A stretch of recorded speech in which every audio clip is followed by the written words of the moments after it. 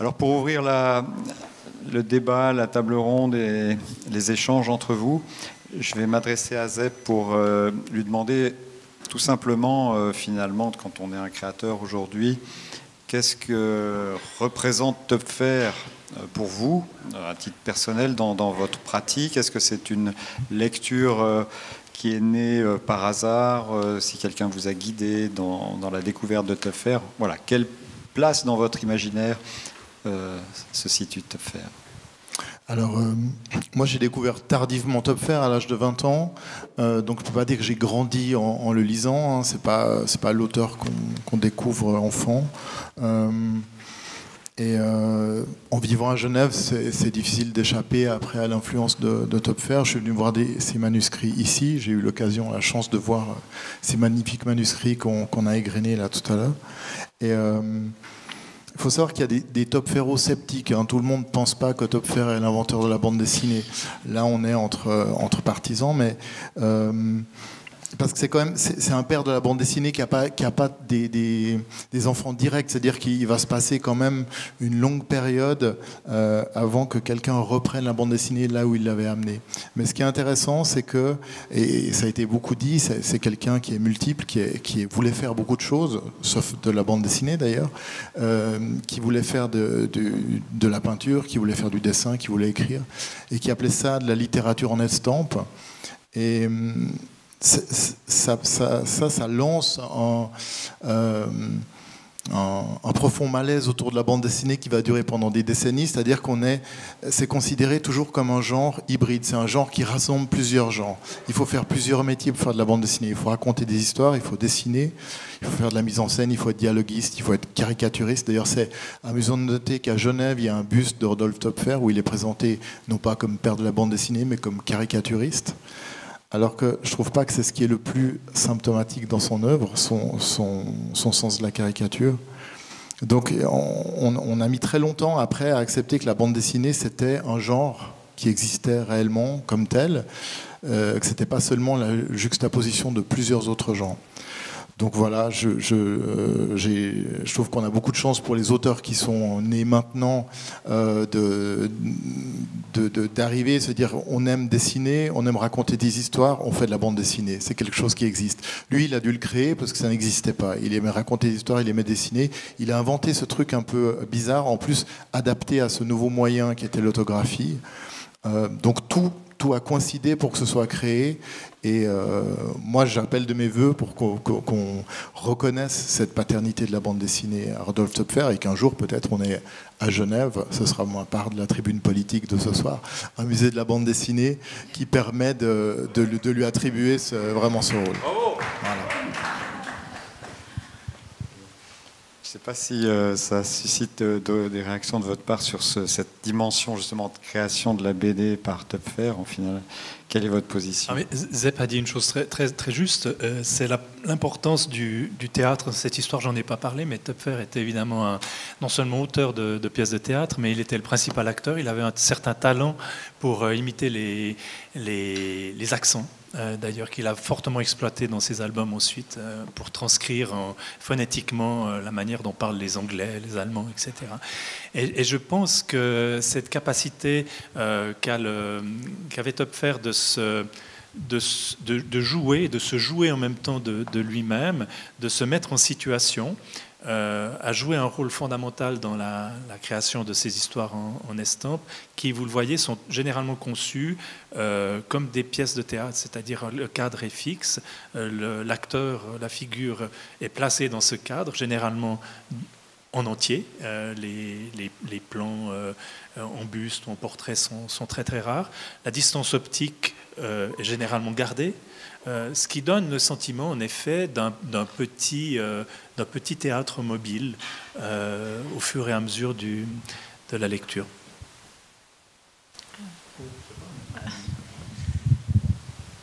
Moi, je pense que effectivement, considère, qu'on considère Rodolphe Töpfer comme l'ancêtre de la bande dessinée ou l'inventeur, tient aussi au fait qu'il n'a pas seulement été un dessinateur et un, un graphomane, mais il a aussi été un théoricien Et c'est ça qui, c'est la conjonction, je pense, euh, de sa pratique de dessinateur et de la réflexion qu'il a menée, qui en fait vraiment quelqu'un d'incontournable. Il y a quand même relativement, en tout cas pas au 19e, il n'y en a pas d'autres, mais d'artistes qui ont euh, eu cette double pratique et qui l'ont menée aussi loin. Donc ceux qui, euh, ceux qui les sceptiques qui euh, lui dénient cette invention, en général, c'est parce qu'il n'a pas utilisé des bulles, on dit. Hein, la, BD se définissant avec euh, l'intervention des bulles dans, le dessin. Je dirais que euh, son père, Wolfgang Adam, a utilisé souvent des bulles dans ses propres caricatures. Mais pour moi, ça ne fait pas sens. C'est vraiment beaucoup plus important de reconnaître euh, cette double casquette de Rodolphe.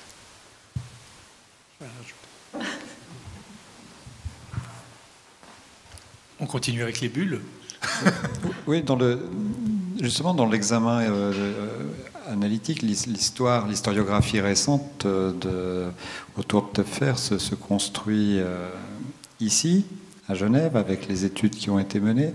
Qu'est-ce qui, je pense à Grunstein, ou quels, sont les débats qui ont, qui ont surgi au moment où on a finalement extrait Tepfer d'une vision qui, marginalisait la question de la bande dessinée. Qu'est-ce qui s'est passé?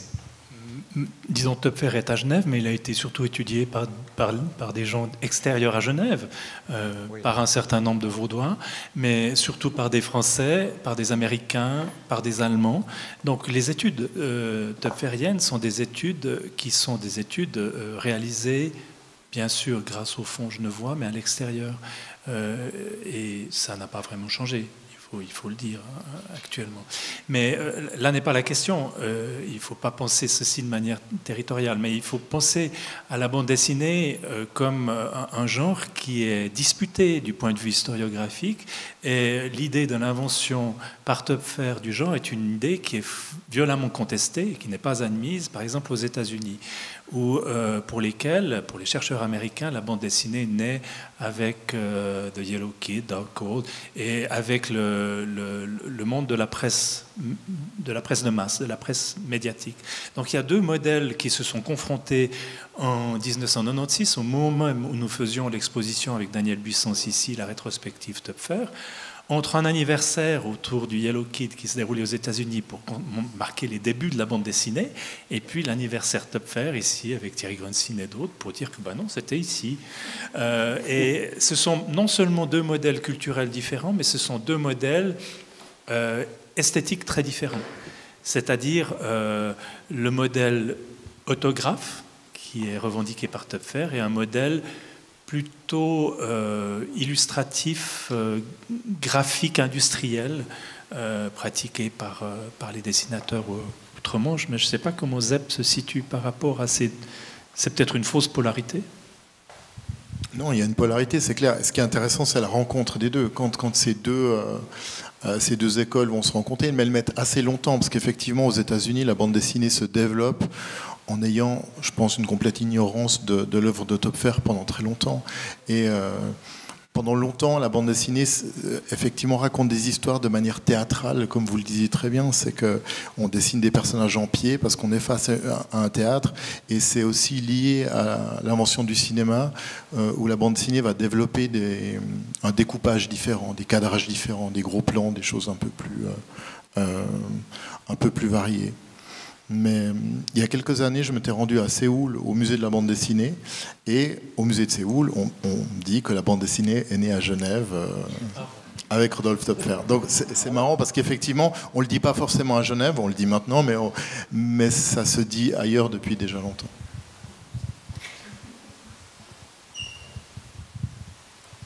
Est-ce que des personnes voudraient pouvoir euh, poser des questions à nos invités? Bonsoir, je vois que nous avons ici des spécialistes.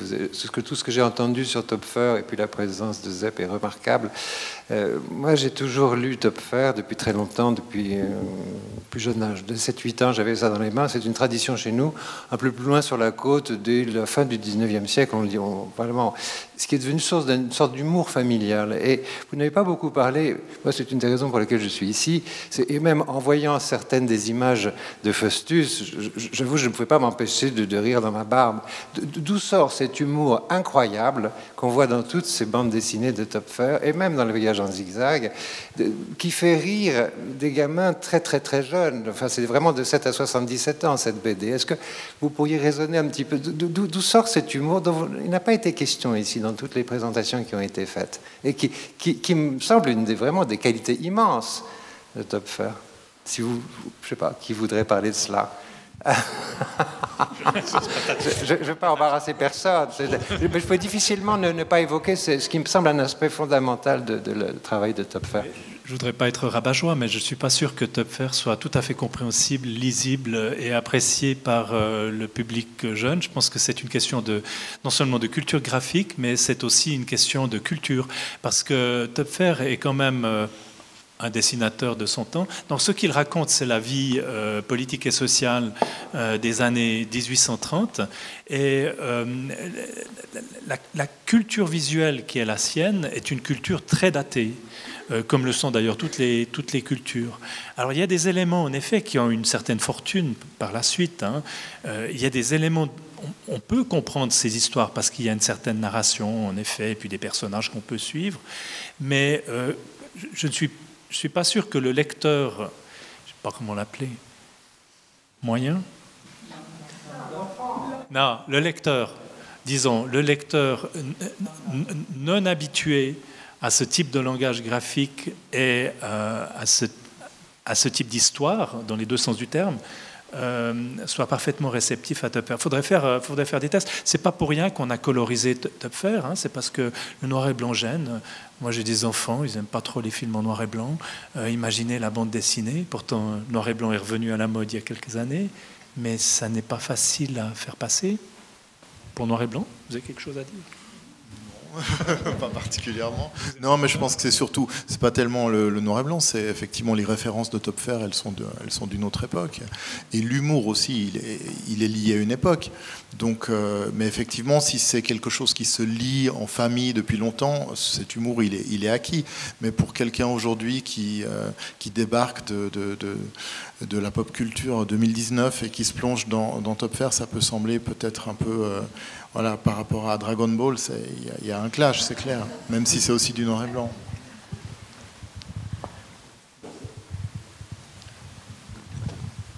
Ce qui est intemporel, en tout cas à mon avis, c'est le côté tarte à, la, crème de certaines scènes qui, qui, elles, sont intemporelles.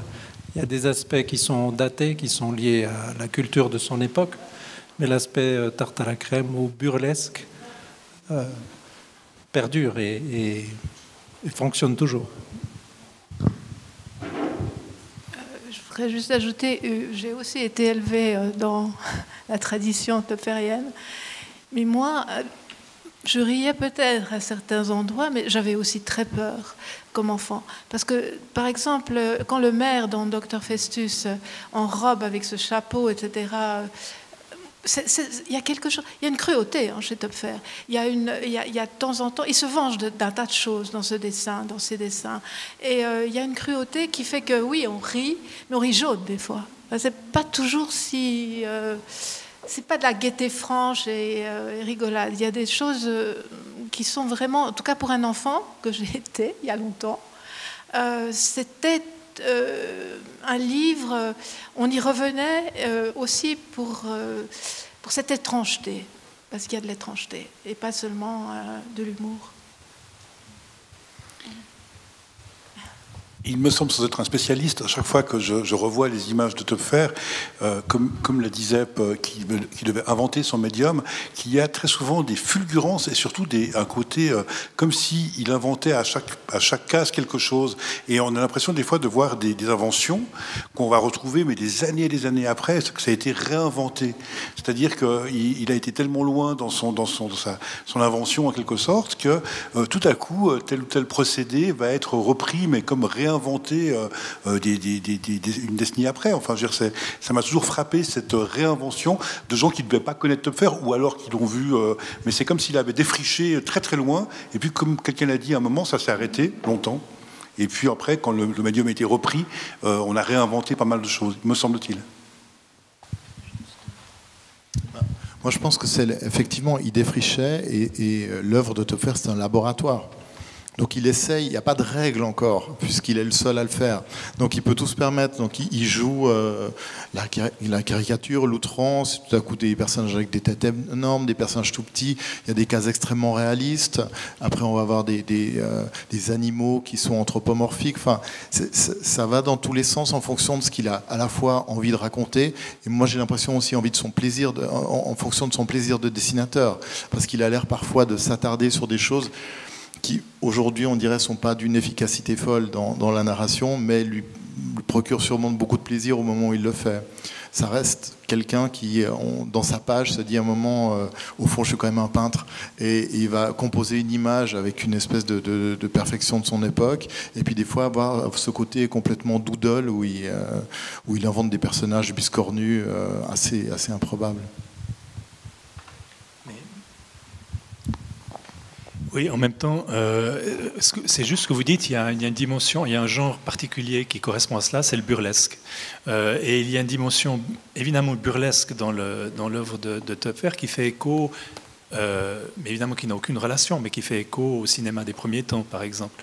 Euh, et en même temps, cette dimension burlesque, euh, elle est très datée parce que elle, est issue d'une autre culture, qui est la culture de l'excentricité, de la littérature excentrique, qui remonte à Stern, par exemple, Tristan Shandy, et des choses comme ça. Donc, Topfer est, en effet actuel, mais il est actuel au sens où il réactualise une culture euh, du rire, de l'humour et de l'excentricité qui aujourd'hui euh, a toute son actualité, me semble-t-il. Moi, j'ai une question toute simple à vous poser. En regardant le traitement graphique, on est souvent étonné de constater à quel point les, chiens ou les petits animaux prennent une importance dans la case. Et ça, c'est en soi une invention extraordinaire, puisque la caricature devrait prendre tout le dessin, mais si on prend la peine de regarder, il y a toujours un élément secondaire dans la caricature. Est-ce que ça, c'est pas déterminant dans la bande dessinée euh, du XXe siècle Parce que si l'on prend par exemple Goutlieb et, sa coccinelle, si on prend euh, Hergé et Milou, Tintin et Milou, euh, ces personnages secondaires ont une importance colossale. Elle attirent à l'arrière-plan toujours euh, le regard du lecteur après avoir lu la bulle.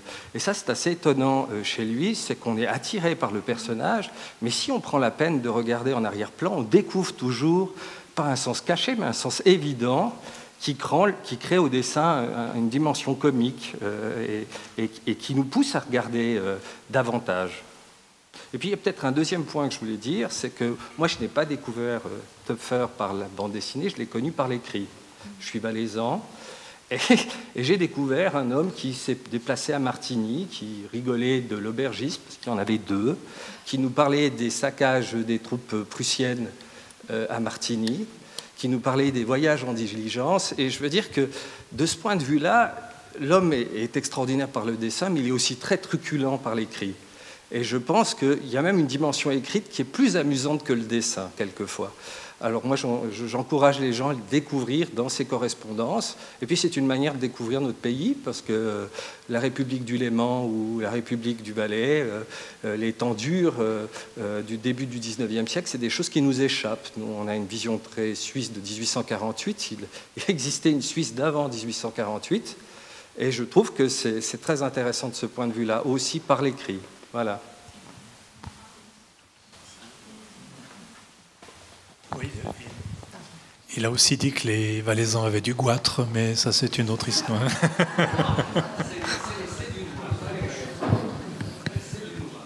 Et il orthographiait euh, le canton de Vaud, V-E-A-U-X. Alors on pourrait vous parler longuement des chiens. Marie, Marie euh, a une spécialité, c'est les ânes, et moi les chiens. Et donc, euh, quand on dialogue Topfer, on parle bêtes, et vous avez entièrement raison, les bêtes sont fascinantes chez, chez Topfer. D'abord, il les, saisit avec humour et avec une, je trouve, une virtuosité. C'est pas facile de dessiner un chien, une vache ou, un âne, hein, euh, de, de quelques traits. Et d'ailleurs, l'âne, et là je passe la parole à Marie, l'âne est au cœur euh, de, des écrits théoriques de Topfer, des menus propos. Alors, je crois que je vais anticiper sur une question qui va venir tout à l'heure. Euh, non, non, non. Les menus propos, c'est un livre euh, extraordinaire. Et je vous conseille vraiment, maintenant il est accessible sur Internet, donc l'édition Princeps de 48. Enfin, c'est paru en 47, c'est post-daté. Et euh, c'est un livre magnifique, c'est un livre merveilleux qui, euh, si, on, met évidemment toute l'activité graphique euh, de Rodolphe Topfer à part, est sans doute le livre qui, qui dit mieux qui était Topfer. Et c'est un livre qu'il a il a fini juste avant de mourir, enfin il l'a pas fini, c'était encore inachevé à sa mort, mais il y a, il y a travaillé les dernières années. Et ce livre euh, est bouleversant parce que euh, c'est un traité d'esthétique, certes, mais c'est aussi euh, un florilège d'humour, de, de, tendresse, et de réflexion aussi tragique sur ce qui lui arrive, c'est-à-dire sa maladie, et euh, la mort qui arrive, euh, il est tout à fait conscient qu'il est perdu. Euh, il mourra à 47 ans tout de même. Hein. Sa carrière est très brève. Et cette maladie qui l'a poursuivi pendant trois ans fait qu'il va jeter l'éponge sociale. Il va quitter la politique, j'en ai pas parlé, mais il, s'est engagé d'une manière incroyable en politique gaspillant dans le fond euh, le meilleur de son, de son talent et de son énergie pendant en tout cas trois ans dans le courrier de Genève, pendant une année dans le courrier de Genève, mais aussi dans d'autres opuscules. Et tout d'un coup, il revient à ce traité d'esthétique, il rouvre ce coffre aux paperasses où il avait volontairement laissé des choses qu'il n'avait pas publiées. Et il va écrire ce traité en reprenant de ces menus propos euh, qu'il a euh, essaimés durant toute sa carrière, il y a beaucoup de petites publications qui s'appellent Menus propos d'un peintre euh, genevois, il va reprendre ce, ces, articles, etc., ces opuscules, en ne, ne choisissant que ceux qui vont à l'essentiel, c'est-à-dire à la réflexion esthétique. Et vous ne trouverez pas dans les menus propos euh, d'allusion à, je sais pas moi, à, à, Lugardon, à Calam, au Grutli, ou aux radicaux, ou à James Fazi. Euh, vous, vous, ne trouverez que l'essentiel et euh, un livre d'une profonde authenticité et d'une drôlerie incroyable. La table des matières des menus propos euh, réflexions d'un peintre genevois, tu l'as signalé. Ce qui, moi, me touche aussi beaucoup, c'est que euh, juste avant sa mort, dans un petit carnet, il prépare la, couverture de son livre, de son, traité d'esthétique. Et on voit qu'il a écrit à la main cet euh, autographe euh, dans un tout petit carnet. Euh, donc, menu propos, réflexions et menus propos d'un peintre genevois par Rodolphe Töpfer, professeur de rhétorique et de belles lettres à l'Académie de Genève. Puis, il a biffé la mention de professeur de rhétorique euh, euh, et de belles lettres. Il a gardé seulement Réflexions et menus propos d'un peintre genevois. Et il a signé Rodolphe Töpfer. Donc il s'est assimilé, tu l'as dit, à ce peintre qu'il aurait toujours voulu être. Et le retour aussi très bouleversant de la fin de sa vie, c'est que il va mourir et qu'est-ce qu'il fait? Il appelle Calam, son ami, et sous l'égide de Calam, il se remet à la peinture. Il va peindre des petites huiles, des paysages, euh, à partir de certains croquis, etc. Alors je ne sais pas où sont ces petits paysages à l'huile. Il doit y en avoir quelques-uns à Genève, mais c'est bouleversant parce qu'en fait, il boucle la boucle de cette manière, et à 47 ans, il meurt en peintre, et pas en inventeur de la bande dessinée. Oui. Euh, vous avez effectivement évoqué une œuvre qui, vous touche. Thierry, qu'est-ce qui euh, serait euh, de votre côté, vous qui avez parcouru l'ensemble de ces, archives, qu'est-ce qui serait à, découvrir? Qu'est-ce qu'il faudrait voir absolument s'il n'y en avait qu'un à voir? Ben, Je pense que les albums de dessin que, que vous avez vus défiler Euh, ce soir sur l'écran, il y en a deux, sont absolument extraordinaires, euh, sont très peu connus et, rarement reproduits.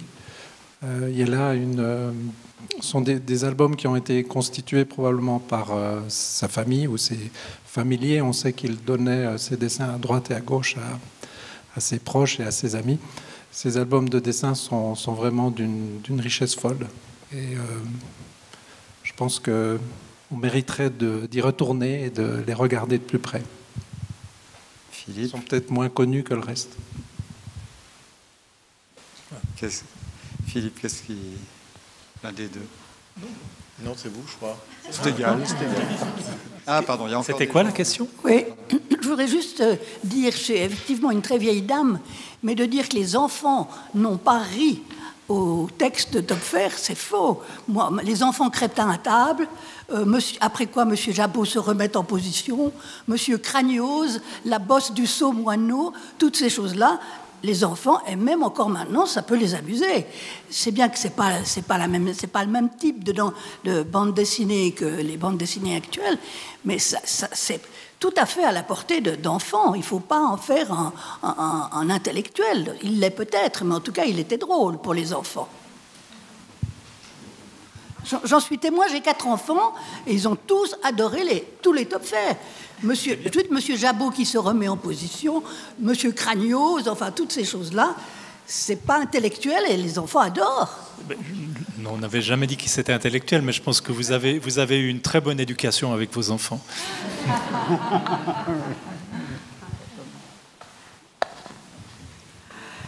je trouve tout de même qu'il y a comme un continuum dans la littérature, en tout cas dans la littérature allemande, avec Wilhelm Busch par exemple, qui d'ailleurs était très bon aquarelliste aussi, pas seulement dessinateur, seulement il avait dans sa littérature et dans ses dessins un côté moraliste qui est peut-être aussi un peu dur pour les enfants, qui a causé problème, mais il connaissait, d'après mes souvenirs, euh, Töpfer.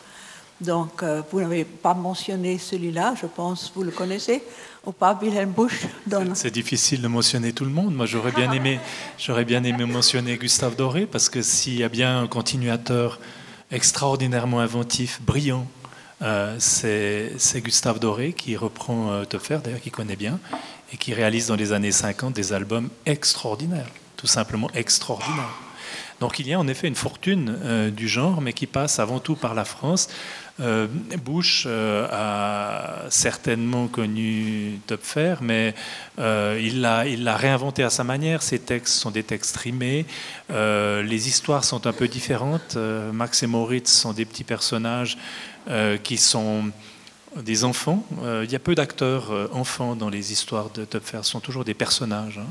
Et puis, ce sont des, des, enfants qui sont martyrisés. Je vous rappellerai la fin horrible de Max et Moritz qui sont transformés en biscuits, qui passent dans une boulangerie, dans une machine à pain et qui se transforment en biscuits, ou qui explosent à différentes occasions. C'est épouvantable. Hein. ça, c'est à déconseiller aux enfants.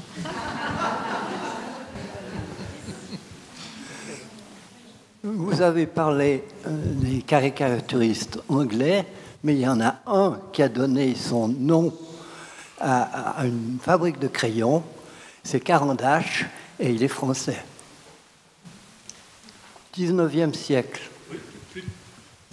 C'est beaucoup plus tard. Non, il y a, il y a beaucoup de noms à citer si on commence. Christophe, la famille Fenouillard. Et, et toute l'équipe du, du, Chat Noir à la fin du siècle, les Steinlen, Villette et autres, qui euh, réinventent les histoires muettes euh, sur le modèle de Ferrien et, tant d'autres. Mais c'est vrai que la redécouverte de, de Topfer est une, est une redécouverte euh, plus tardive.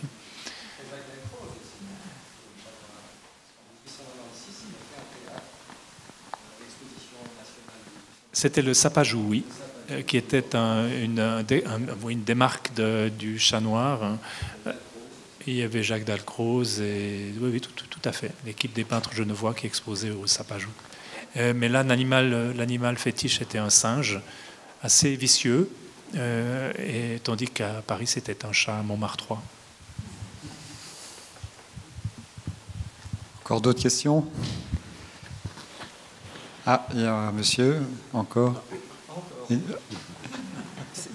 C'est pas une question. Je, profite pour euh, féliciter l'équipe qui a fait l'exposition. J'encourage fortement à regarder le film qui date de 1921, euh, qui est projeté ici, qui dure 44 minutes. Et vous verrez à quel point les dessins euh, ont été animés par les animateurs. C'est donc ça a presque 100 ans ce film, hein, je crois. Et, ça montre à quel point le dessin est moderne. Parce que réussir à prendre des carnets de dessin, les reproduire et faire une animation, c'est assez extraordinaire. Il est produit, euh, si vous regardez l'exposition dans la partie euh, gauche de l'exposition, euh, quand on regarde ça, on est scotché. Parce que, alors évidemment, il y a la statue du caricaturiste Genevois, avec deux personnes, je crois, dans les années 20. Et puis vous avez tout d'un coup ces albums qui sont animés. Et on regarde ça et on se dit, Walt Disney peut aller se coucher, parce que parce que c'est plus nul que ce qu'a ce que, ce qu'a fait Disney en 29. Euh, donc j'encourage les gens à aller regarder absolument cette animation qui se trouve sur la, dans la partie gauche de l'exposition. Voilà, c'est tout. Merci. Qui est-ce qui avait réalisé cette euh, animation, vous savez? C'est des, des, Français, mais sur une commande genevoise. Maintenant, le nom m'échappe, je, je suis désolé. C'est un, animateur français, mais le nom m'échappe. En revanche, je l'ai vu.